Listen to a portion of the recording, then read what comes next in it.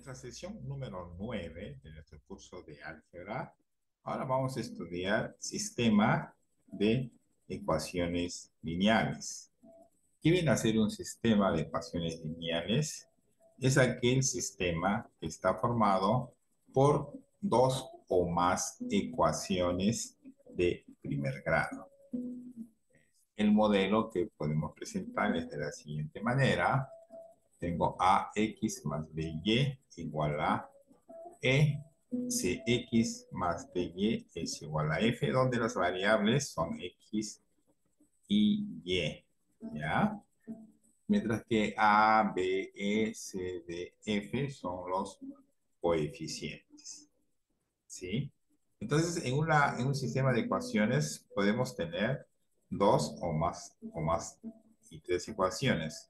Y casi siempre un sistema que tenga eh, igual número de ecuaciones e igual número de incógnitas podrá tener solución en la mayoría de los casos. ¿sí? En cambio, si tuviéramos eh, una ecuación y dos incógnitas, sería un poco difícil encontrar un valor o un valor para esta ecuación. ¿Ya? Eh, por ejemplo, acá tenemos un sistema. Un sistema. Acá tenemos 7x más y igual 29. 3x más 2y igual 36. Como ustedes pueden ver, hay dos ecuaciones. Por lo tanto, siempre vamos a hablar de ecuación 1 o ecuación 2. ¿Ya? Entonces está formado por dos ecuaciones, ecuación 1 y ecuación 2. ¿No? Donde es un sistema de ecuaciones lineales con dos incógnitas.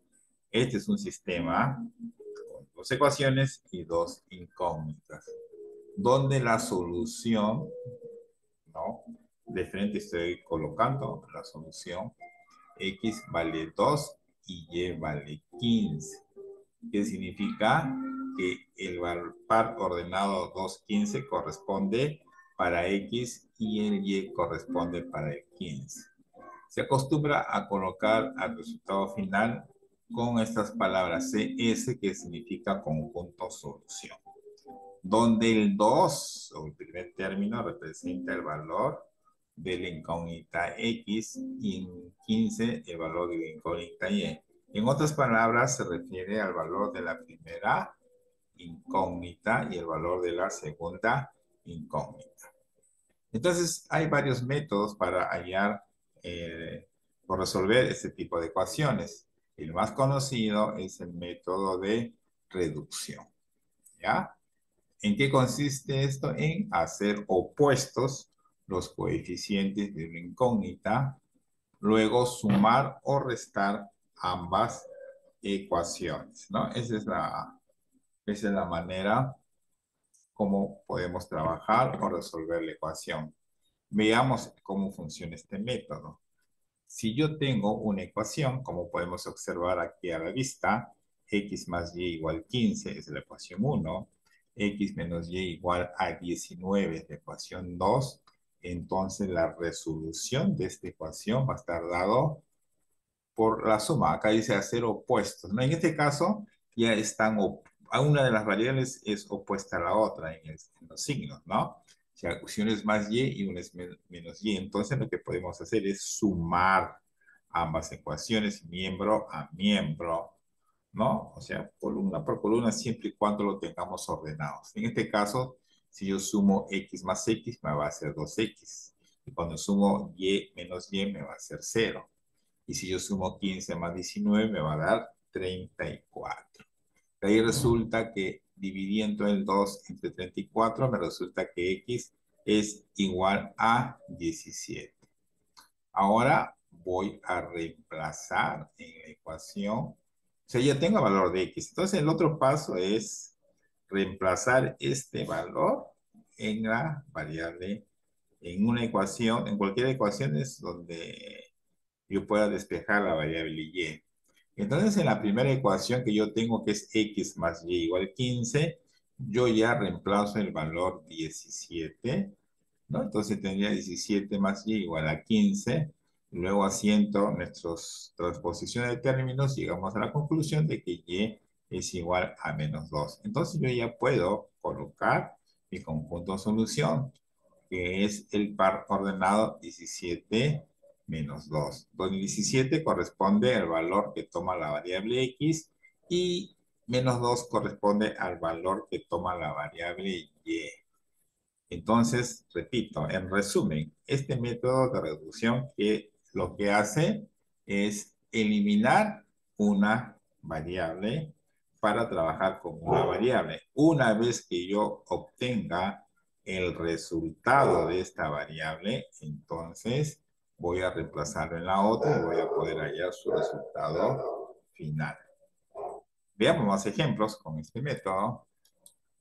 Por ejemplo, en este ejercicio número 2, tengo x más y igual a 19 y tengo x menos y igual a 3. Entonces lo que yo puedo hacer es lo siguiente. Voy, como yo ya veo que hay la y con la menos y son opuestos, entonces lo que voy a hacer es sumar ambas ecuaciones. ¿No? Puedo sumar ambas. Entonces me va a resultar lo siguiente. x más x es 2x. El y menos y desaparece 0 y quedaría 19 más 3 que es igual a 22. De ahí el 2 pasa a dividir y obtengo que x vale 11. Entonces ya obtuve el primer valor. Continúo. Entonces el valor eh, x igual a 11 lo voy a colocar en la primera ecuación. Entonces en vez de, x voy a colocar 11 y acá voy a obtener y. ¿no? Y. Entonces acá lo que voy a hacer es eh, despejar, ¿no? El valor de y. Fácil. Entonces el, el 11 pasa a restar y resulta que y es igual a 8. Entonces yo ya tengo mis dos valores, entonces el conjunto solución es x, eh, es 11, 8, ¿no? Donde 11 corresponde al valor de la variable x y, y 8 corresponde al valor de la variable y. Entonces, muy sencillo. Eh, acá también observemos, observamos la ocasión número 3. También acá observamos, mira, mira, mire, que acá son opuestos, menos 3y con más 3y. Entonces, mm, necesito solamente, de igual manera, sumar las dos ecuaciones. ¿Por qué? Porque si yo sumo, se va a eliminar la variable y. Entonces, hago el resultado entonces sumo, sumo las x, 5x más 4x es 9x. La y desaparece y 7 más 11 es 18. El 9 va a pasar a dividir y resultará que x es igual a 2. Entonces yo ya tengo el valor de x, entonces voy a ver en qué ecuación lo voy a hacer. Entonces voy a reemplazar x en la segunda ecuación. Entonces, donde yo vea x, voy a colocar 2. Entonces, yo tengo 4x, o sea, 4 por 2, más 3y igual 11. Entonces, 4 por 2 es 8. Este 8 va a pasar a restar y me va a quedar 11. 11 lo dejo acá. Resto sería 3 y el 3 pasa a dividir me quedaría que y es 1. Entonces, mi conjunto solución es 2, 1, donde 2 corresponde al valor de la incógnita x y 1 corresponde al valor de la incógnita y.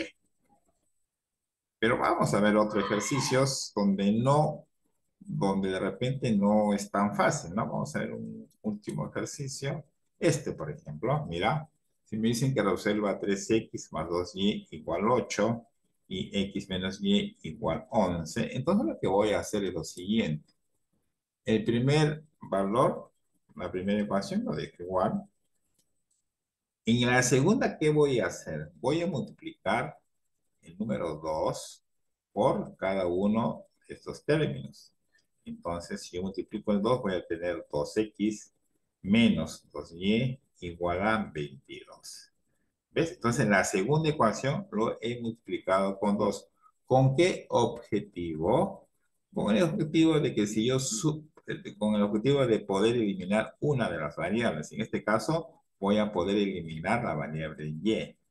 ¿Cómo es eso? Porque cuando yo sume ambas ecuaciones, mira, y va a resultar que 3 más 2 es 5x, 2y menos 2y, 0, 8 más 22 es 30, y luego ya el 5 pasa a dividir y voy a obtener que x vale 6. Ahora, este valor x igual a 6 lo voy a, a reemplazar en la primera ecuación, acá. No puedo repasarlo también en la segunda, pero yo deseo reemplazarlo acá. Entonces, hay que hacerlo más complicado, ¿no? Un poco más difícil para recordar un poquito nuestra multiplicación, ¿no? Entonces, mira, x vale 3. Entonces sería 3 por 6 más 2 por y igual 8. Entonces, 3 por 6 es 18 y va a pasar al otro miembro como menos 18. ¿No? Eh, y 8 menos 18 eh, va a ser menos 10 y, menos, y 2 que divida menos 10 va a ser igual a menos 5. Entonces, nuestro conjunto solución va a ser igual a x. Eh, acá, bueno, acá nos falta corregir. Vamos a corregirlo nuevamente. Error de eh, copiado del ejercicio anterior, pero el conjunto solución. Entonces, conjunto solución sería, sería igual a x, x, 6 y y vale menos 5. Así sería, ¿no? Bien, estimados alumnos, entonces hemos visto, ¿no? Eh, hemos visto, entonces acá nuestros valores, ¿no? El resultado de la solución es 6 menos 5. Bien, espero que la clase les haya servido y nos vemos la próxima reunión. Gracias.